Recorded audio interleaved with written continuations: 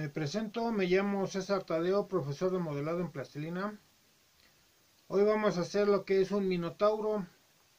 Para eso nosotros vamos a modificar una pieza de una figura humana. Muy similar a lo que fue el Anubis, el hombre lobo. Hoy vamos a hacer el minotauro. Yo en este caso modifiqué la figura humana, la exageré un poco para lo que son las piernas, lo que es la cabeza, lo que van a ser los cuernos. Dejé un poco de alambre suelto para que mi pieza se pudiera quedar parada, erguida. Lo que hice fue hacer la figura, meterle papel, encintarla y ahorita voy a ir con lo que es el primer relleno.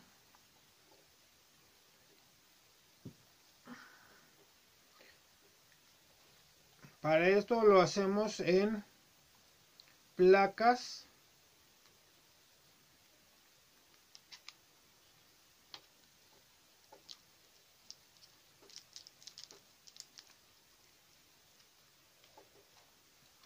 Para lo que es la figura humana pueden ver el video donde hacemos lo que es la métrica corporal. Sacamos las medidas de nuestro papel y de ahí procedemos a hacer lo que es el armazón. Recuerden que una figura de ese tipo, un dibujo de ese tipo, cuando es de costado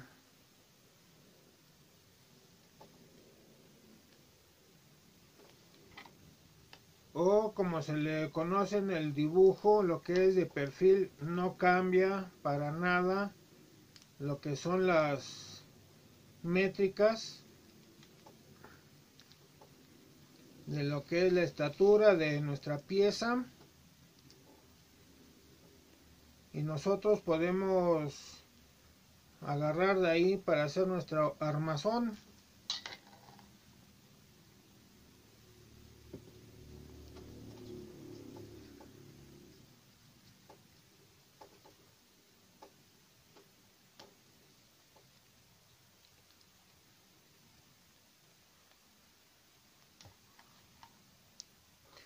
Esta figura se puede decir que es el primer carnotauro no reconocido en el mundo. Y esto es de la mitología eh, griega o cretense me parece.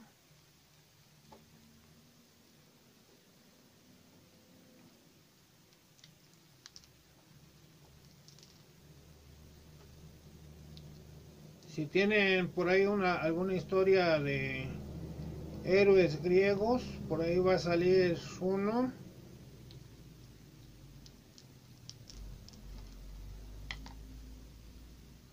que según derrotó al Minotauro,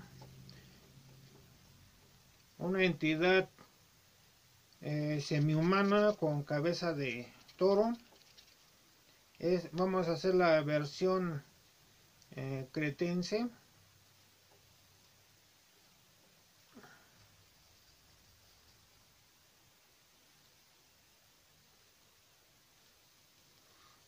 Como verán, estoy trabajando la plastilina en frío. Me está costando un poco de, de trabajo amasarla. Ustedes en casa pueden tomar el tiempo que sea necesario para ustedes y amasarla a sus necesidades.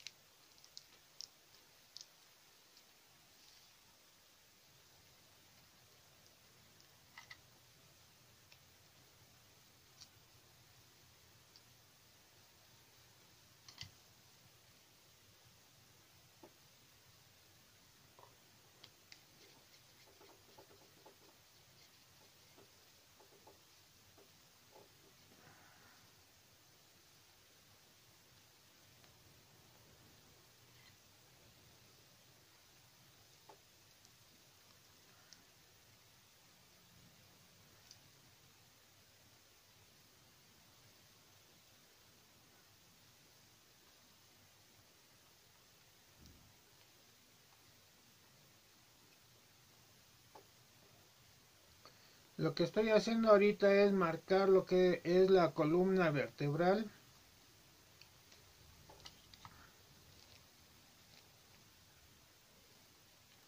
Para tener una referencia, para hacer lo que son los músculos de la espalda. Siempre lo he estado diciendo en todos estos videos.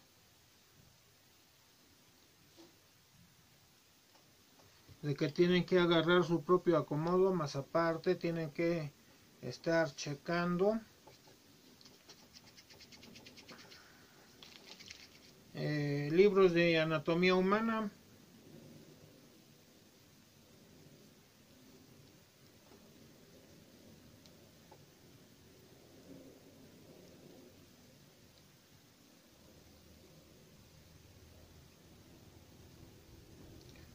Como verán, esta pieza, aunque es muy tosca, muy exagerada en algunas partes, por lo regular la pieza es una pieza aligerada. ¿Por qué aligerada? Porque no le hemos puesto puro material al centro, sino que hemos rellenado la pieza yo en lo personal le puse papel de estraza. Podemos utilizar el papel aluminio y sobre ese encintarlo con cinta canela, válgase la redundancia. Y con esto la pieza central que es el torso nos queda completamente aligerado y ya no vamos a usar demasiada plastilina o demasiado material, el caso que ustedes así lo convengan.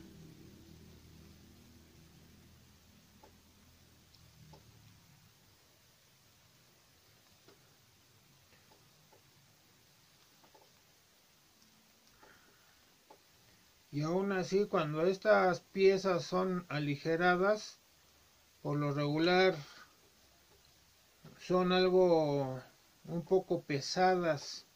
¿Por qué? Porque en la parte de los brazos, las piernas, lo que va a ser de la rodilla hacia abajo, van a tener eh, puro material, la plastilina en sí, o tal vez, tal vez ustedes estén agarrando pastas poliméricas, pastas epóxicas para hacer sus piezas, y esta parte van a estar completamente macizas, al igual que los brazos y lo que es el rostro.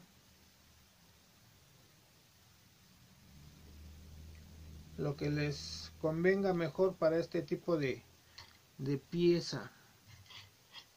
Vemos que aquí ya me está provocando algunos problemas el peso de la pieza. Modificamos un poquito nuestra base.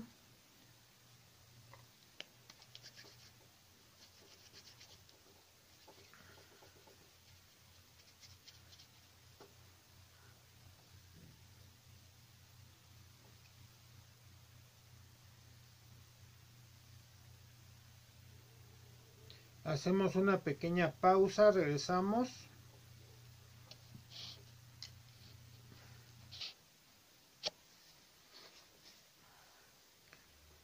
Acabo de hacer lo que es un rellenado parcial. Estuve rellenando aquí lo que son los brazos, las piernas. Vamos a meterle otro color. Para eso yo aquí tengo plastilinas de varios colores. Yo ahorita voy a agarrar lo que es el color café. Esta plastilina como verán está muy dura muy rígida. Hay que reblandecerla. Para esto yo voy a tardarme un poquito pero lo vamos a hacer de poquito en poquito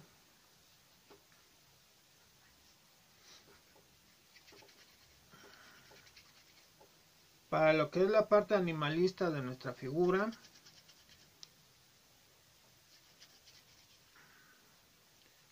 yo voy a empezar primero de abajo hacia arriba En este caso voy a ponerle lo que son los chamorros o gemelos.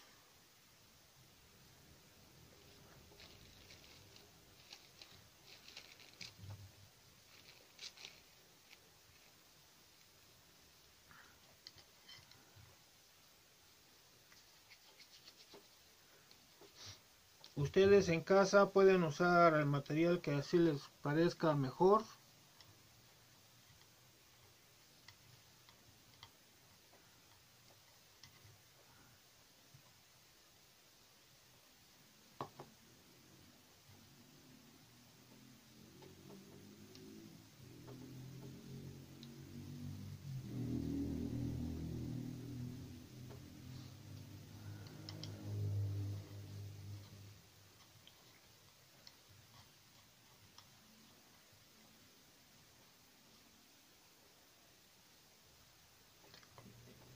Esta pieza tiene mucho mucho peso al frente. Vamos a tratar de compensarla.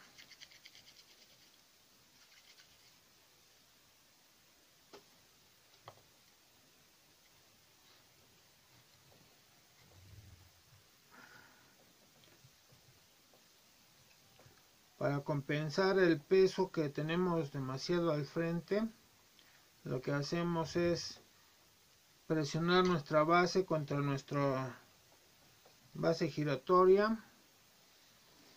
Y checamos que tenga buen balance ya que tenemos eso.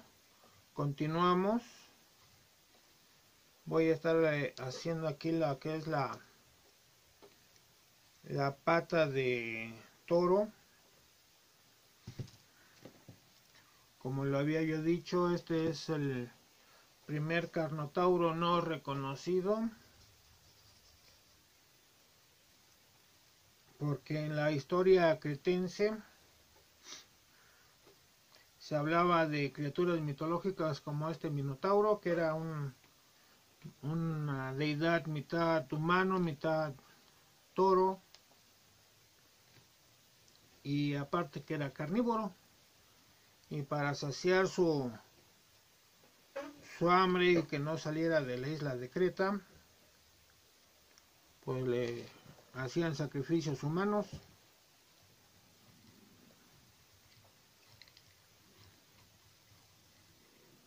Eso es un poquito de la historia de este de esta criatura.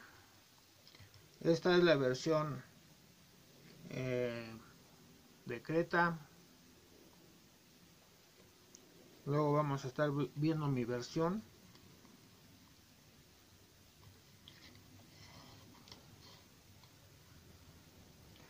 Como verán estoy haciendo ahorita lo que es la pezuña.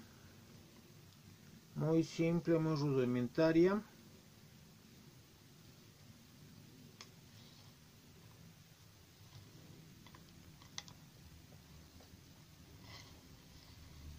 Para hacer estas combinaciones necesitamos también checar lo que es el cuerpo de animal.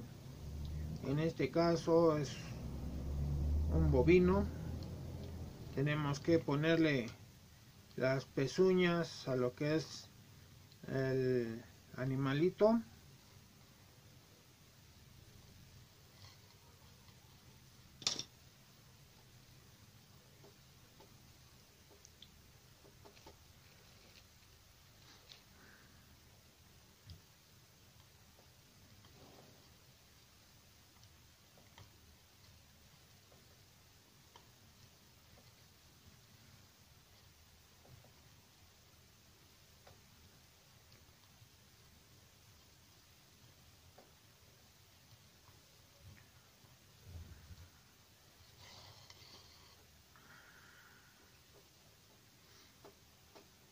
Hay quienes me han comentado, me han hecho llegar algunos comentarios de que el alambre está muy duro, el material está es demasiado blando. Ustedes pueden buscar entre sus materiales que pueden encontrar en las papelerías el material que mejor les convenga pueden estar checando marcas, texturas para que ustedes mismos hagan sus piezas chequen sus materiales conforme a sus necesidades. Vamos a hacer la otra pata. Vamos a empezar igual desde lo que es el chamorro los músculos gemelos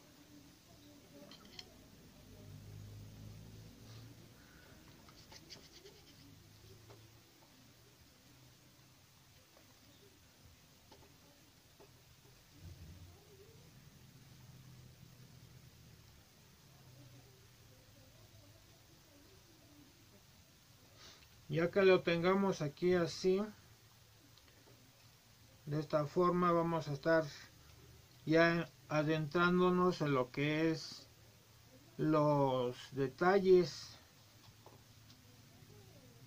Siempre tengan a la mano suficiente material eh, material de apoyo como son libros. Vamos a hacer una pequeña pausa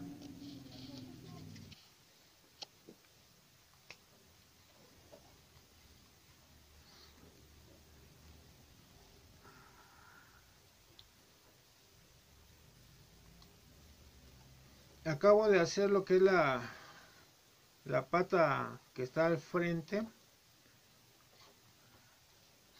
Y con eso estoy compensando un poco el desequilibrio.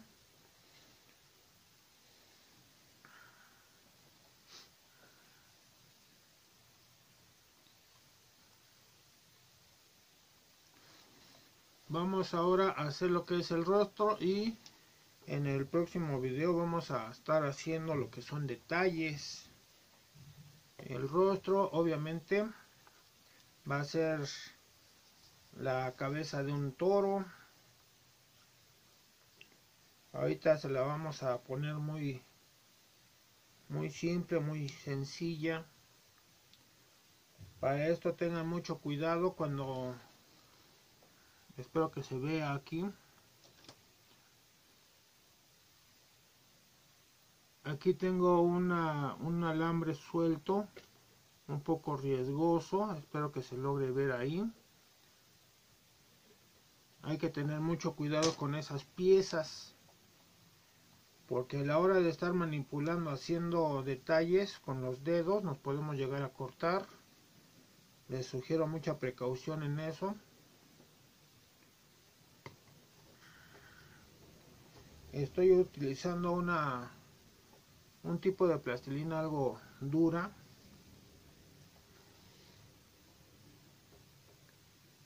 Porque así conviene a mis intereses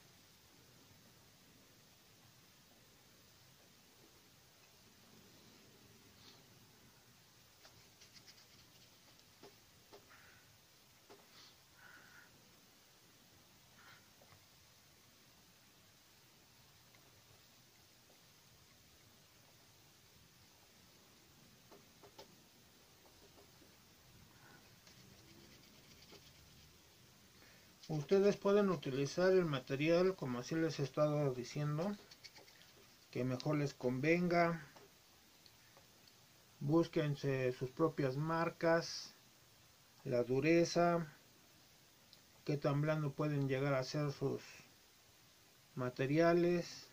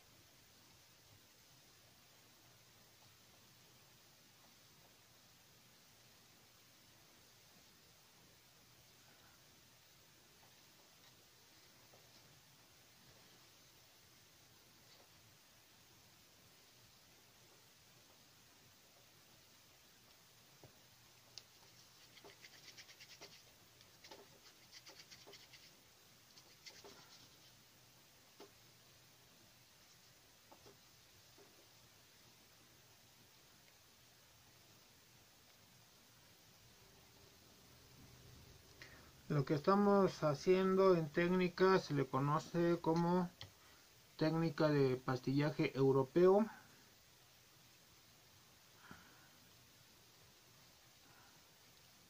que es el más común usado y pocos se atreven a decir qué técnicas son las que utilizan. Nada más simplemente le dicen hagan bolitas y palitos. Y es todo lo que les van a ayudar aquí. Yo les digo qué técnicas usamos también en la descripción. Para el día que les pregunten el día de mañana y qué técnica usaste, ah, usamos técnica fulana.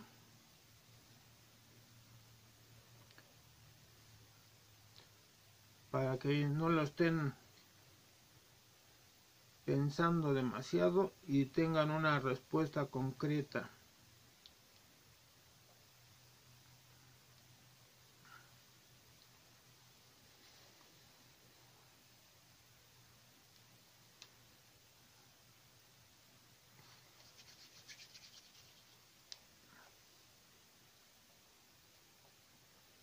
lo que van a ser los cuernos manos lo vamos a dejar pendiente para el próximo video porque ahí sí nos vamos a tardar un poco.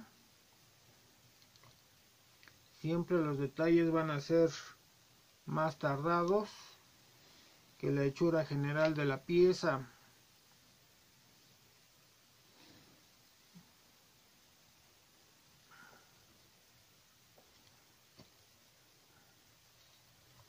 Si necesitan hacer modificación a su pieza tienen que hacerlo al momento.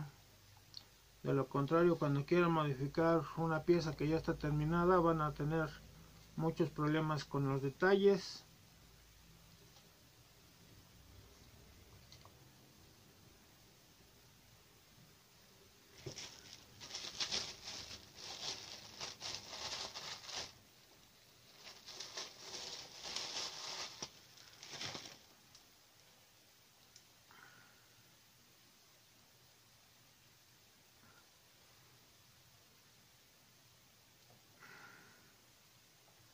lo que estoy haciendo es aumentar la altura de los cuernos usando mis pinzas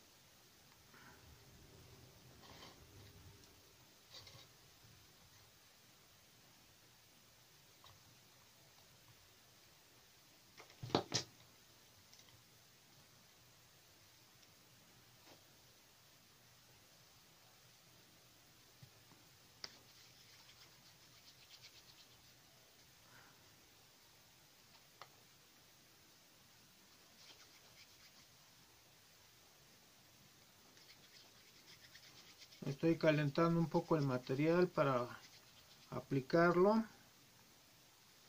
Ahorita no he podido usar técnica en fundición en plastilina porque mi encendedor ya pasó a mejor existencia